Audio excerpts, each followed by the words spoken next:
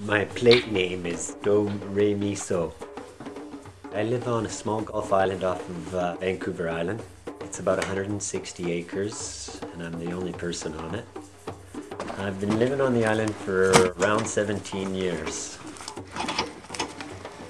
I have a garden that I grow some of my vegetables. I generally spend a week to 10 days at a time, and then I go off to get uh, groceries. I have my own boat. I drive it, it's about a four mile crossing.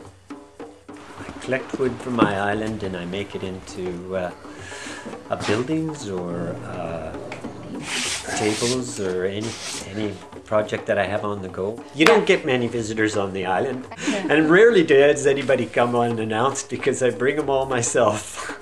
Living the secluded life on the island, I do enjoy my visitors when they come, but the odd one gets relocated to Moskatras. It's interesting because a lot of people think island life is a fantasy that they would like to live.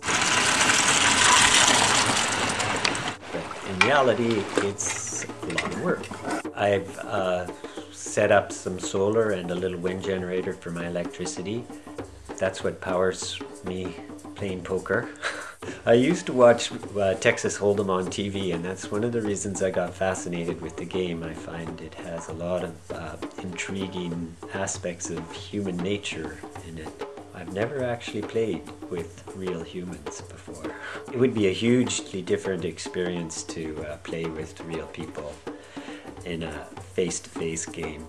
It would be one of the greatest experiences of my life to uh, to uh, play with the uh, best in the world. Bye.